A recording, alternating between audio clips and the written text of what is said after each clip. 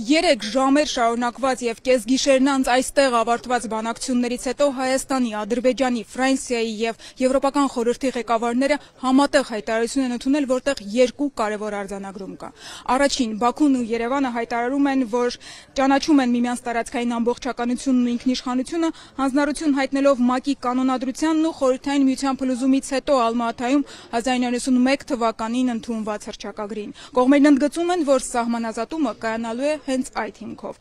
Բացի այդ Հայաստանը համաձայնել է Եվրամիության քաղաքացիական առաքելություն տեղակայել սահմանին Ադրբեջանն ասել է, որ համաձայն է համագործակցել այնքանով, որքանով որ առնչություն կունենա դրա հետ։ Ավելի վաղ միության արտգործնախարար Ջոզեփ Բորելը Եվրախորհրդանում հայտարարել էր, թե Բրյուսելը պատրաստ է զորք տեղակայել հայ-ադրբեջանական սահմանին, սակայն Ադրբեջանը դրան չի համաձայնել։ Թե ինչ լիազորություններ է ունենալու քաղաքացիական առաքելությունը եւ ինչ է նշանակում Բաքուն կհամագործակցի այնքանով, որքանով առնչություն կունենա, հստակ չէ։ Այս պահին միայն հաղորդվել է, որ առաքելությունը կլինի 2 ամսով։ Աշխատանքը կսկսի առաջիկա շաբաթներին կողմերի միջև վստահությունը ամրապնդելու եւ զեկույցներով սահման սահմանային հանձնաժողովներին աջակցելու համար։ Սահմանազատման հանձնաժողովի հաջորդ նիստն էլ կկայանա Բրյուսելում մինչև այս ամսվա վերջ։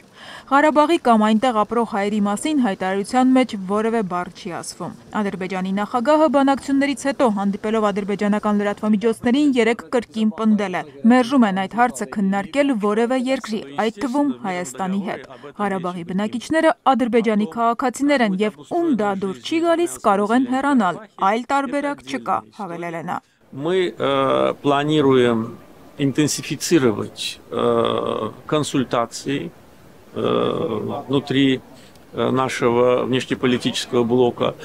и также продолжить э, неформальные контакты. Մենք նախատեսում ենք շարունակել ոչ պաշտոնական հանդիպումները Ղարաբաղի հայկական բնակչության հետ։ Այդպիսի շփումներ արդեն իսկ ընթանում են որոշակի ժամանակ եւ կարծում եմ, որ դրանք կբերեն լիակատար փոխըմբռնման ռուսական խաղաղապահ առաքելության տեղակայման գոտում ապրող բնակչության մեծամասնության հետ։ Ադրբեջանական հասարակությանը ինտեգրվելուց բացի այլ տարբերակ ուղակի չկա, ով կընդունի, որ պետք է ապրել որպես ադրբեջանի քաղաքացի, կարծում եմ չի զղջա։ Իսկ եթե ինչ-որ մեկին ինչ-որ պատճառով դա հարմար չէ, կարող են իրենց համար բնակության այլ վայր ընտրել։ Я думаю, они не пожалеют. Кому это по каким-то причинам не подходит, ну, они могут выбрать для себя другое место жительства.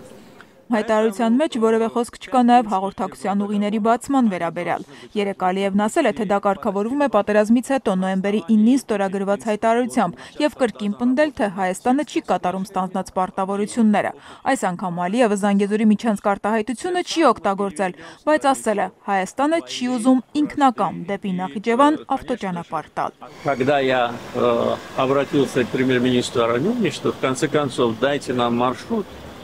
для автомобильной дороги, опять я ответа не получил. Ցավոք այսօր էլ, երբ ես դիմեցի Հայաստանի վարչապետին, թե ի վերջո տվեք մեզ ավտոմոբիլային ճանապարհի երթուղին, պատասխան չստացա։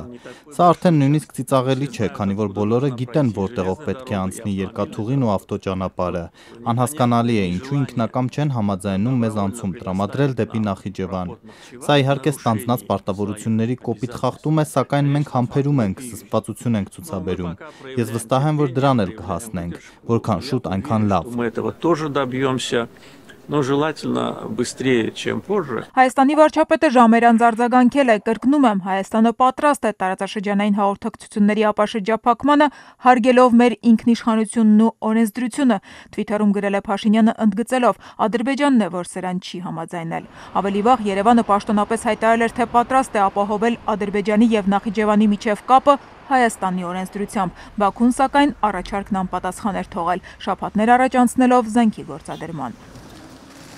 Երեք էլ խոսելով խաղաղությունից Ալիևը չի հստակեցրել, պատրաստվում է արդյոք մինչև համաձայնագրի կնքումը կամ դրանից հետո դուրս բերել զորքը Հայաստանի տարածքից։ Փոխարենը որպես նախապայման կրկին առաջ է քաշել թեզը, թե Ղարաբաղում հայկական զորամիավորումներ չպետք է լինեն։ Պրահայում եվրոպական կողմի հետ բանակցություններից հետո Ալիևն ու Փաշինյանը մեկնել են Սանկտ Պետերբուրգ, ԱՊՀ ոչ պաշտոնական գագաթնաժողովին։ Առայժմ հստակ չի արդյոք այստեղ նրանք կհանդիպեն Պուտինի միջնորդությամբ։ Այս պահին կողմերը հայտարարել են, որ մտադիր են շարունակել արևմտյան նախաձեռնությունները։